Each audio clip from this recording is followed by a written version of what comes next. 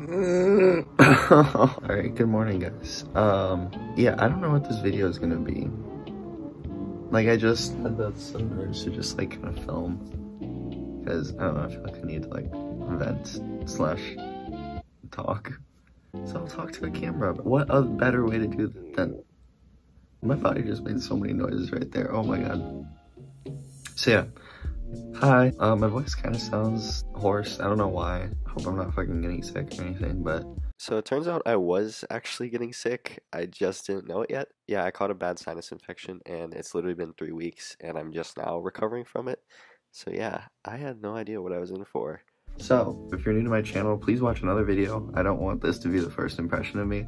Yeah, watch any of my other more popular videos. That more accurately represents the videos you'll typically see on this channel. But yeah, as for now, uh, I'm moving out of my dorm. And it's kind of sad, I'm not gonna lie.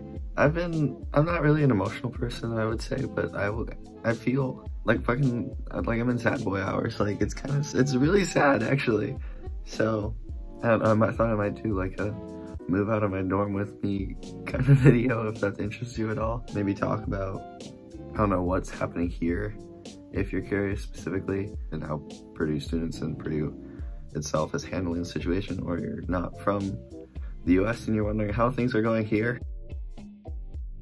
It's funny because the video before this is probably going to be like an apartment tour, like, oh, everything's fine, whatever. And now it's me leaving this apartment. So isn't that interesting how the world works? All right, isn't this more intimate now? Isn't this great? So if you're wondering, this is from the Purdue Bookstore.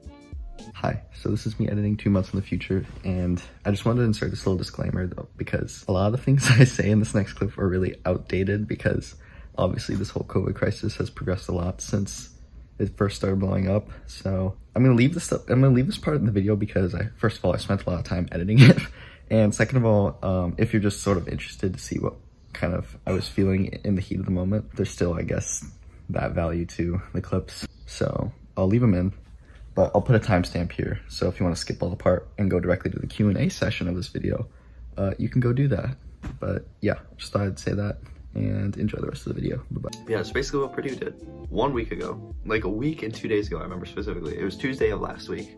Everyone was still here and like the whole coronavirus thing was kind of blowing up, but and like a couple schools closed but it wasn't a major deal. And then literally like that evening we got an email being like, hey, you're we're switching to online potentially for the rest of the semester. We'll talk about coming back, but like most likely we'll stay online for the rest of the semester. My rest of the semester, but you're allowed to stay on campus and like kind of live your life, just not going to classes. Everyone here was kind of preparing for that. Like I was talking to people like who's gonna stay, and like I was planning on staying because I was gonna like work still. I have two jobs, so I was gonna keep working those jobs. And then as of a few days ago, they're like, um, yeah, you should probably leave unless you like really want to stay, but like we're gonna close everything. And literally only like one dining court's gonna be open doing takeout service. We're gonna move you around because everyone's leaving, so like we'll probably put you in a dorm and you might not stay in your residence hall. And yeah, you should probably go home. So Purdue is shut down for the rest of the semester and I originally wasn't even gonna move out but now, yeah, shit fell, hit the fan real fast on that one. All right, I think to spice this video up, because I kind of feel like it's losing its, like, I don't know, this video makes no sense.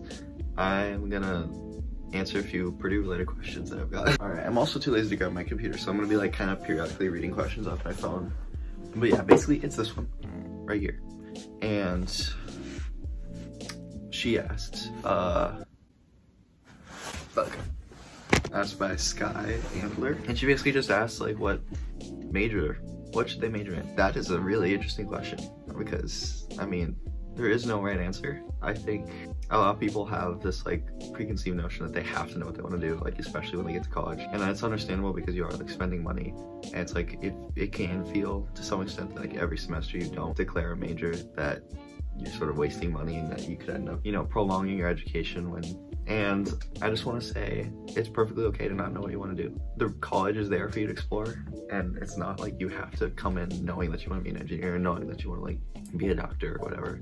Like there is time for you to find what fits you. So yeah, definitely think about what's important to you, what's what you've been passionate about in your life up this far, and think about how you can make that thing you're passionate about the thing that makes you money. I don't know what else to say other than just you don't have to know. And even if you're like your first year here. All right, Anaria Webb asks, you should do a video on the best campus jobs. And I completely agree, except I feel like I could answer that within this video instead of making it its own. Campus jobs are a very important part of life, so I'm glad she asked. Basically, my one piece of advice for getting a campus job is look for a job where you don't have to work the entire time you're working. I know that sounds kind of like weird or like fucking cryptic, but I'll explain. Basically, when you come for STAR or BGR, like any sort of orientation before your freshman year, or even like the first few weeks of like the beginning of the year, the dining courts are gonna be all up in your face. Like, oh my God, work here, it's $9 an hour, you get great benefits, leadership opportunities, blah, blah, blah, blah, work at the dining courts, work at the dining courts. And don't, don't do that. And the reason being, if you work at the dining courts, every single one of your shifts, you're gonna be working the entire time. For your four hour shift in the dining court, you're gonna be grinding for those four hours. And you're not even gonna be making nine an hour, you're gonna be making 875. And I know this because my friend works there. They kind of jip you, like they do, they round it up so it sounds better, but it's 875, not nine, which is important. You should be looking for like desk jobs like any library desk job where you can just sit there and like be there for if people need you or like working at ITAP where you're just sitting in the computer labs or working at dorm front desks. Those are great as well. Basically, those jobs, you're allowed to do homework. Any job where you're allowed to do homework on the job is a good option. Like that's all I'm gonna say. Your time is valuable in college. You need as much of it as you can to devote to your studies.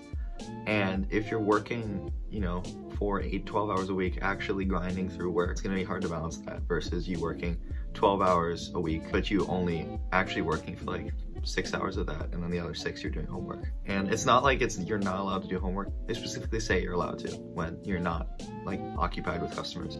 So that's my advice on that. Yeah basically if you want to work like a food service job just like go to like starbucks or panda. Like they pay better so. All right robert garcia asks how fucked he is for only being in pre-calc right now uh, and knowing he has to take calculus. You're you're fine. Although a lot of people have attempted like AB in high school, I'd say a, a, vast majority still end up taking like Calc 1 when they first get here. Yeah, you're definitely fine.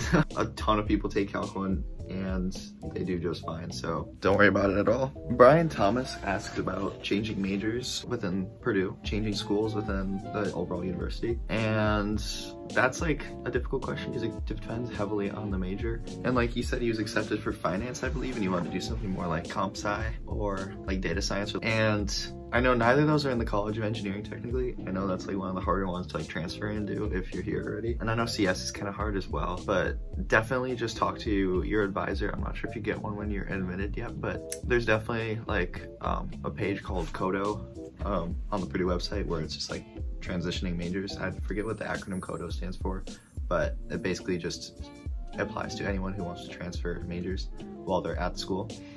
Um, and I think there really is no limit to how early you can do it. Like one of my friends was in FYE when she was admitted and then transferred to Polytech immediately before she even got to campus. So it's definitely possible to change really early if you want to. Sam Michelle asks about choosing between two colleges for neurobiology and psychology. And although I don't know a ton about Purdue's neurobiology program, uh, you did say they're similarly ranked. And I think for me, that means generally speaking that they're kind of peer institutions and you really can't go wrong at either place. So then it's basically just like a matter of, I think first and foremost beyond that is cost. Uh, are they similarly priced for you? And if that isn't an issue, then I like to think about like location and the culture of each campus and the best way to get an understanding of that is to just visit each college. But if you can't do that, especially now, then I say the next best thing is honestly like social media. So talking to people who go to either schools. That can include me if you want to know questions about Purdue. I've gotten some DMs from people before, so yeah, feel free to reach out if you have questions. If you don't know anyone at either school, I say the next best thing, or an equally good thing is looking at like profiles of people who are at each school. Like, um, you can kind of get a sense of like the vibe or the culture and what people do at either place, or even like looking at YouTube videos. Uh, not to like self-promote or anything, but definitely like looking at the vlogs of like people make. All right, since my phone keeps deciding to run out of memory, I'm going to switch the segment to official move out vlog related activities.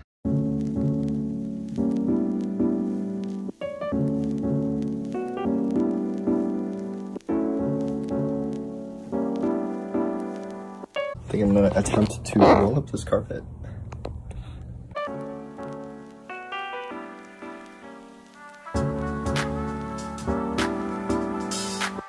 Well, that was the fucking most difficult thing I think I've ever done in my life. Probably should have waited till my parents got here to even attempt that, but so be it. I, it's done.